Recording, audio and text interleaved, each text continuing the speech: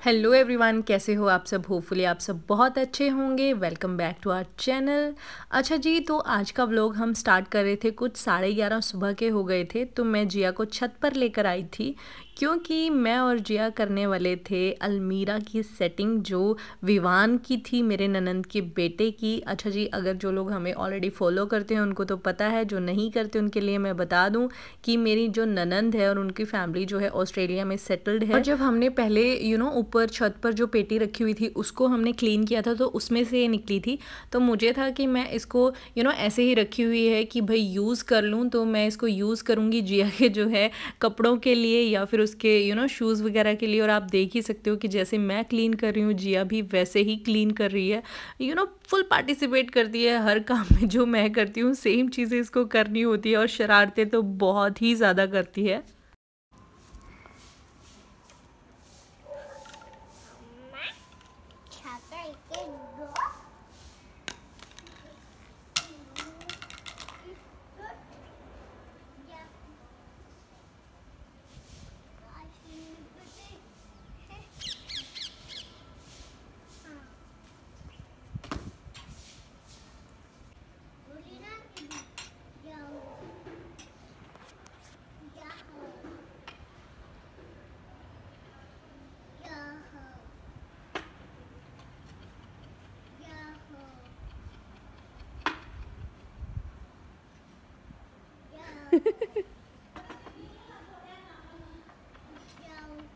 अच्छा जी, बीच में इसकी पूजा पाठ जो मैंने आपको दिखाई है, वो हो गई थी। अभी अपने पूजा पाठ से फ्री हो गई थी तो मैंने बोला प्लीज़ मेरी हेल्प करवा दो। और फिर मैंने इससे यू नो दोबारा से कपड़ा मंगवाया था कि भाई, जो इसके पिलर हैं, वो भी मैं क्लीन कर देती हूँ साथ के साथ। और फिर मैंने जिया की हेल्प से ये लगाना शुरू किया। यार स्टार्टिंग में तो ना मैं भी कन्फ्यूज़ हो रही थी कि पता नहीं कैसे लगेगी, क्या लगेंगे इसके ऊपर। फिर धीरे धीरे मुझे समझ में आ गया अच्छा ये ऐसे बनेगी। क्योंकि क्या है ना, इसका हमारे पास कुछ भी जो बोलते हैं ना डायरेक्शन या कुछ ऐसी इन्फॉर्मेशन नहीं थी कि कैसे बनेगी या हमारे पास इसकी कोई पिक्चर नहीं थी जस्ट हमारे पास ये सब सामान था तो मैंने अपने आइडिया से लगाना स्टार्ट किया। अब जैसे ये थर्ड वाला है जो मैं अब लगाऊँगी तो मुझे उसके नीचे जो है ना वो पाँव के नीचे वो चीज़ें दिखेंगी जो बिल्कुल बेस वाला होता है। तो फिर मैंने ध्यान लगाया है कि इसको तो पहले लगाना पड़ेगा बेस में लगाना पड़ेगा। ऐसे करके होता है जो भी काम हम फ़र्स्ट टाइम करते हैं, यार ऐसे परफेक्ट तो होता नहीं है, हम भी सीख रहे होते हैं चीज़ें तो इससे ना मेरा बोलने का सिर्फ़ इतना सा मतलब है कि जो भी करो, दिल से करो, गलती करो, मान लो यार कोई दिक्कत नहीं है। और यहाँ जिया जो है शरारतें तो भाई वो करती ही रहती है। देखो मैं कितना उसको मना कर रही हूँ, फिर भी मस्ती करती रहती है। बट चलो यार, बच्चे हैं, इनकी मस्ती नहीं होगी तो क्या ही होगा। तो जी, मैं बड़ा इन्जॉय कर रही थी, सर्दियों की धूप है टाइम कुछ साढ़े ग्यारह का है, मैं ऑलरेडी आपको बता चुकी हूँ। तो मैं और जिया यहाँ पर लगे हुए मैं फिर कन्फ्यूज़ हो गई कि यार ये तीन तो सेट हो गए, अब कैसे करना है? तो फिर मैंने लास्ट में सोचा कि यार, अब तो मुझे खड़ा होना पड़ेगा और कुछ सोचना पड़ेगा।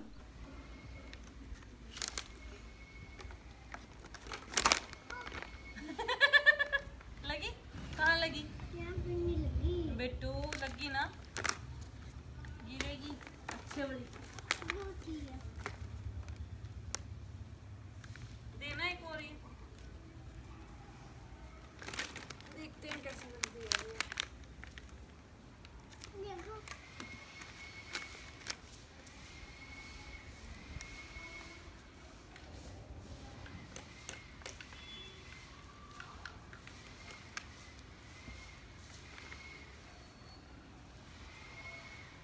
दिखाओ मुझे ये दो मुझे छोटे छोटे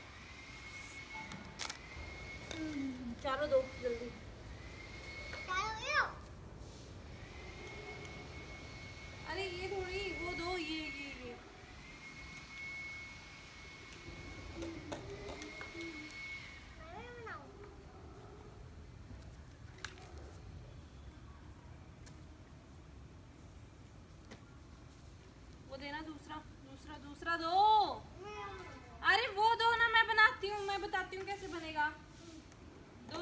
फटाफट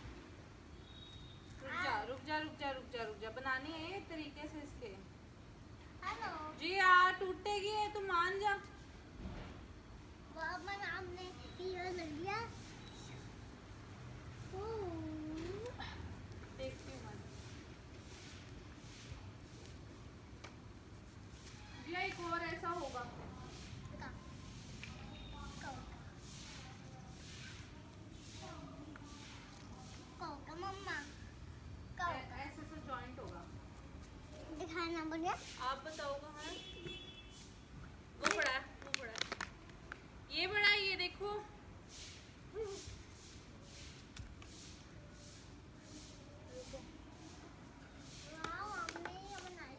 मैंने ये बना दिया दो। साइड हो जाना, इसको तोड़ के मानेगी तू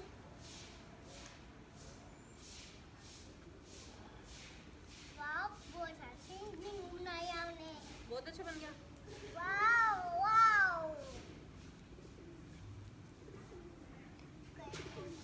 अब इसके ऊपर ये कवर आएगा अभी तो लड्डू सिंह इसमें नहीं आते इसमें कवर आता है अच्छा जी जब मैंने ये कवर देखा तो फिर पता चला कि ये जो कवर है वो बहुत पुराना हो चुका है और यूज़फुल नहीं है। साइड से आप देख ही रहे हो कि ये फट चुका है। मैं यू you नो know, अभी आपको भी दिखाऊँगी ये हमारे में इसको बोलते हैं कि बोदा होना। भाई बोदा हो गया। हरियाणा में बोलते हैं कि कपड़ा जो है बोदा हो गया ख़राब हो गया। तो ये है, आसानी से फट रहा था। अच्छा इसके बाद ना मैंने क्या किया, जो इसकी लंबे वाली चेन थी ना, उसको मैंने रख लिया निकाल के, क्योंकि यूज़ हो सकती है, कहीं भी यूज़ कर सकते हैं। टेलर आंटी से अगर कुछ करवाना हो, कभी तो यूज़ हो सकती है। हमें खुद कुछ करना हो तो यूज़ हो सकती है। तो ऐसे यू नो बेकार सामान में से भी कुछ चीज़ें मिल जाती हैं तो उनको रख लेना चाहिए। ऐसे मैंने ये बिल्कुल अलग से निकाल ली है, रख ली है। देखते हैं इन फ्यूचर किस चीज़ में इसका यूज़ होगा। होगा भी, नहीं होगा, पता नहीं, बट मैंने रख ली थी ये। अच्छा जी, इसके बाद जो है पापा भी छत पर आ गए थे और जिया ने पापा के साथ खूब मस्ती की। पापा ये मस्ती जिया के साथ करते रहते हैं, उसको यू नो कराटे, शराटे सिखाते रहते हैं, उसको डिफेंस करना सिखाते रहते हैं। तो ये खूब मस्ती आपस में दोनों ने की है। आप लोग इंजॉय कीजिए इनकी इस मस्ती को।